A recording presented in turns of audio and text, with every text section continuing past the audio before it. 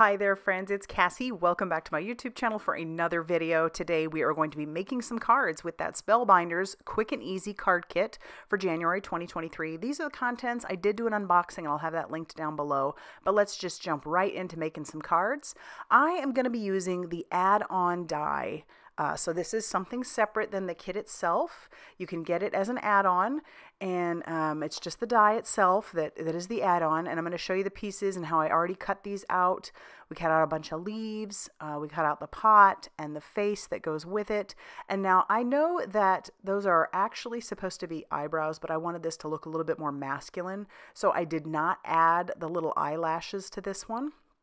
Um, I, I did cut the eyelashes out of some yellow cardstock just to show you what those look like, but I decided I wanted a more masculine pot. So I'm taking all of the little pieces from the face and I'm tacking those down to some mint tape. I'm going to color them this way, and I just figured this would be a little bit easier way to color them if they're stuck down to something. And so I'm bringing in some alcohol markers just to color those up a little bit. And so we'll use some peach for the cheeks, and then I'm just going to use like a black one for the mouth the nose, and what I'm calling the eyes. So, so it just kind of looks like his eyes are closed there. If I if I just you know use the eyebrows as eyes, it can be seen both ways. And then I will use a, a Copic, or I mean a, an alcohol marker on a couple of the other pieces of the pot just to make sure that those are a little bit distinguishable from the pot. I'm going to take some washi tape and just put that all along the back. That'll make it really easy to put the pieces back in you could skip this and just um, attach it right down to your your card panel if that's what you want to do. But at this point, I honestly wasn't sure if I wanted to pop this up on some foam tape. So I'm putting the washi tape behind it. I'm going to use some glue, so a little bit of liquid glue in each of those holes just to make sure that that really does stick to the washi tape because sometimes washi tape can be a little finicky. So I'm going to use my pickup stick and put all the little pieces right back in place, but the glue is there to make sure that that doesn't go anywhere. We've got our mouth and then we have our eyes. And they're, they are um, the eyes. I put the first one in the wrong spot, so I just pop it out and just move it over to the other side. And it probably would have been fine to leave it as is, but I could tell. All right, so now the little face is ready. We're going to attach the other pieces of the pot to it. And then I'm going to cut down my cardstock. This is some of that pattern paper that came in the kit. This stuff is great layering paper. It's not real thick, so it's really nice. And so that way uh, it doesn't make your card super bulky. But I cut this down to be four inches by five and a half inches. So it's going to have a little bit of a border on the left and the right hand side. I'm taking one of the chipboard frames that came in the kit. Peel off that release paper. Love that about these, that they are self-adhesive. And I'm just going to stick that down, trying to center it up a little bit. You have a little bit of wiggle room with that. And then I'm kind of playing around with the idea of where those leaves are going to be and how they're going to stick out. But I'm going to use the double-sided tape for most everything that I am adhering down to all the cards that I use. So I'm not going to show you the whole process the entire time because you get the gist. You put down that double-sided adhesive and I use a pickup stick just with that little poker piece to peel off the release paper. It just makes it a little easier. Um, it gets under there a lot lot simpler rather than using my fingers which can be a little bit bulky at times. And then I'm just going to stick him down. I thought about popping it up with foam tape, and then I thought if I do that, I'm going to have to do the same thing with all of the leaves. Now, I'm just going to use liquid glue here. You could probably find a way to use the double-sided adhesive, but I think we all have some form of liquid glue, and for those little stems, it just was a little bit easier. I think that these kits are geared more for either beginners or people on the go or quick cards. That's why it's called Quick and Easy. And so um, that may not appeal to everybody because there isn't a stamp in this, but you can make some beautiful cards very quickly. Uh, I'm going to end up making five cards in this full 17 minute video, but I have so many supplies left over that I could make a bunch more. You just have to bring in a few more card bases, but you know, the, the kit comes with eight, so that's a lot to be able to play around with. You know, lots of ideas, and I know that there are a ton of ideas out there in the galleries. just go take a look. If you are unsure of what to do, go take a look there and you will be filled with ideas for how you can use these kits. And um, yeah, lots of lots of ideas. I'm sticking to only using the papers that came in the kit. So the, all the green, all the, the colors that I die cut out, those all came from the card panels that were in this kit. Uh, the only thing that I brought from the outside, like I said, was that liquid glue. Otherwise, and my, my Copics or my um, alcohol inks. Otherwise, everything that I am using comes from within these kits. So these are great on the go kits. And yeah, I'm definitely going to have a lot of fun with these. So I'm just continuing to fill him in with lots and lots of foliage. Uh, I could have probably maybe added some shadowing or shading to the leaves themselves just to add a little bit more dimension, but I think this looks pretty cute the way that it is. Um, it's a cute little pot. And yeah, I'm going to keep going. I think I'm going to add one more, and then the rest are actually going to go on the inside of the card. So that was fun to piece together. I had no real idea of how I wanted it to look. I just started grabbing pieces, but you could be a little bit more deliberate with that if you wanted. I'll pull in the puffy stickers. I'm going to use these puffy stickers for the sentiments for all of my cards. And that one says, thanks for helping me bloom. Thought that was sweet to go along with that image. Later on, I do add some of the self-adhesive gems that are in the kit uh, but I don't show you that. You will see it in the picture at the end um, because I just, it's like I forgot for a second that I had them, even though I think they were one of my favorite things in this kit. And then I realized afterwards that there they were. All right, so peel off all that release paper. We'll stick this down to our card, leaving a white border on the left and right hand side. And then we're going to open that up and we're going to attach down the rest of the foliage that I have. And again, using liquid glue this time just to make it a little simpler.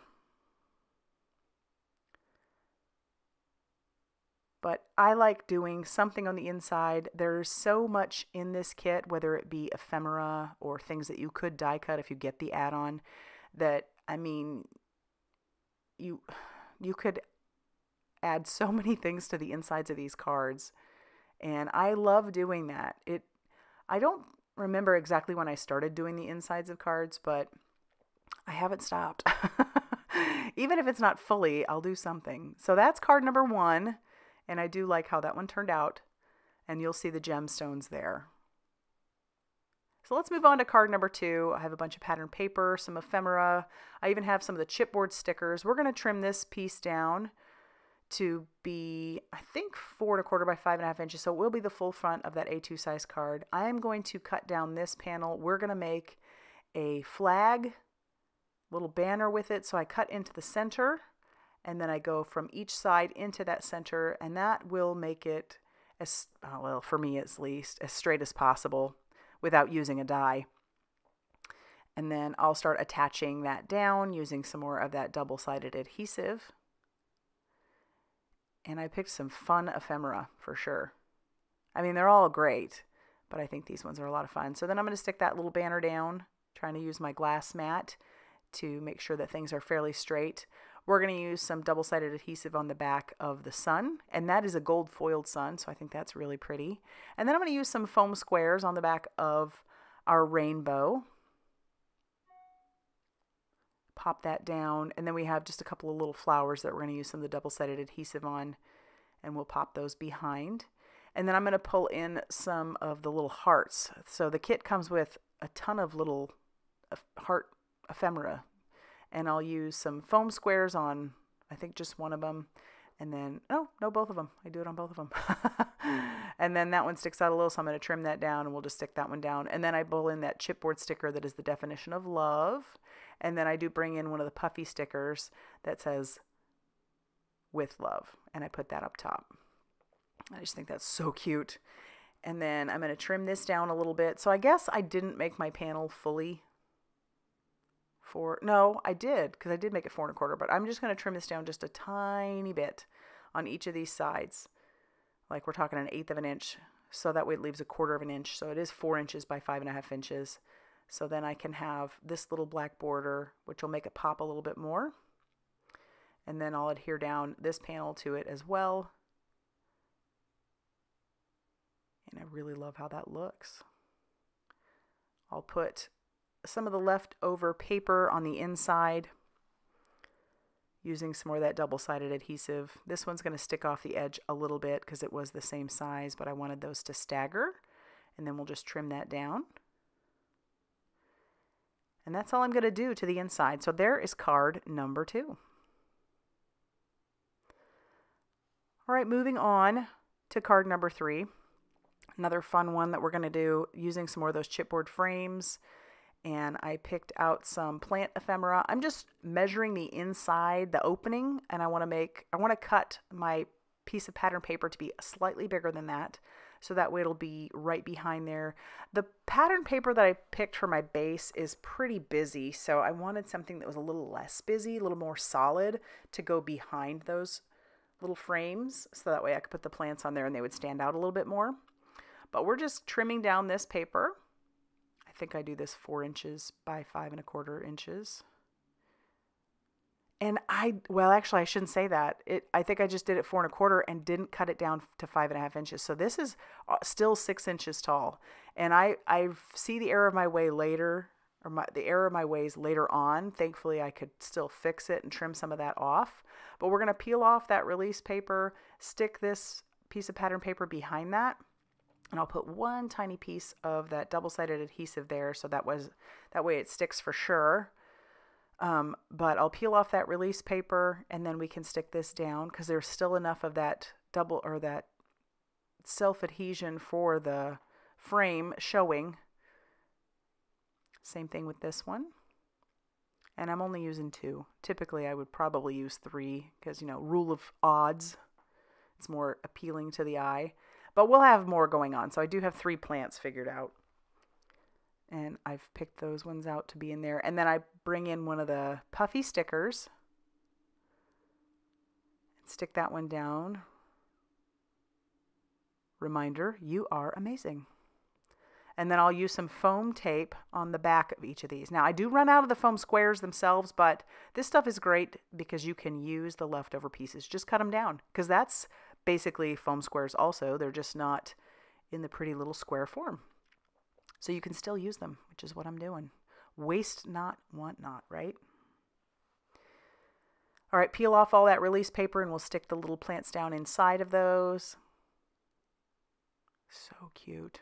One to sit on top of our sentiment. So there's our rule of threes, I guess.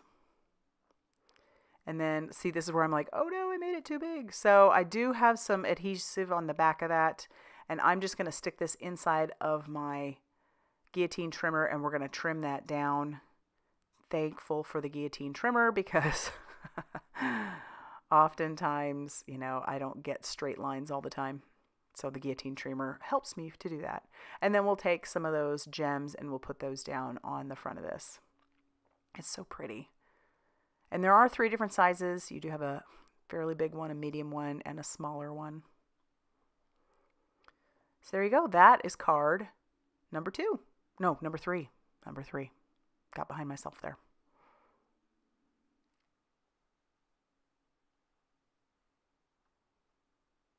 Card number four is going to be super quick and easy. So you can make a lot of these with it.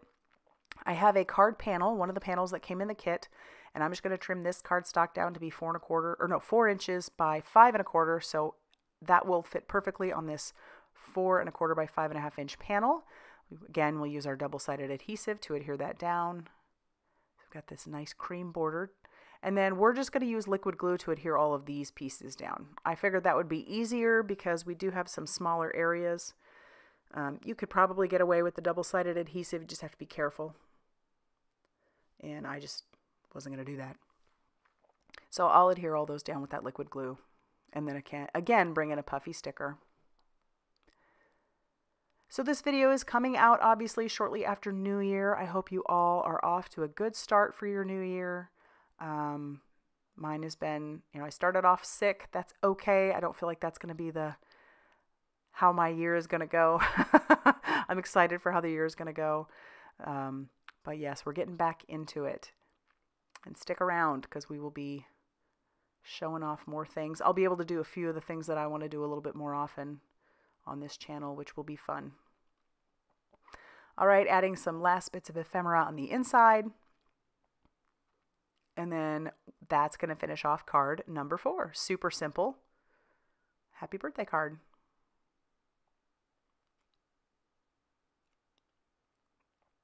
And then for our final card today, I brought in another one of those chipboard frames, the big heart ephemera. We're going to trim this down. Going to go ahead and make it the full size, four and a quarter by five and a half inches. And then we'll use our double-sided adhesive to stick our little heart down. We've got some butterflies there you can see. We're going to peel off the release paper on our film strip, you could leave those little pieces out. I'm going to pop them back in just because I didn't want that background to show, but you could use those for other things too. And then I'll use that double-sided adhesive to adhere down each one of our little butterflies, moving them a different way.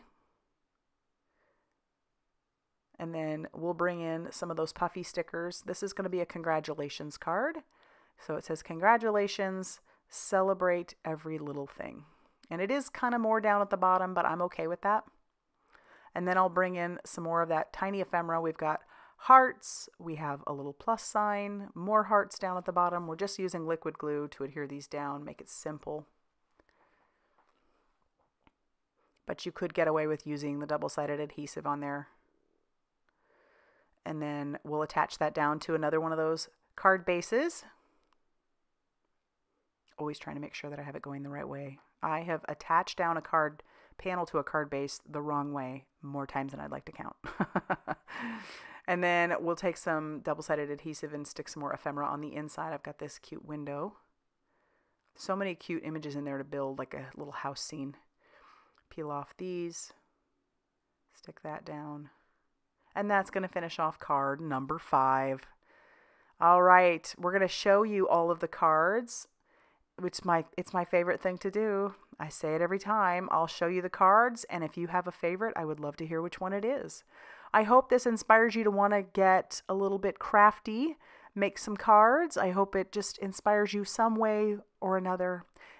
Thank you so much for stopping by. Thanks for watching, subscribing, all the things that you guys do. I really do appreciate you and I hope you have a wonderful 2023. We'll see you soon.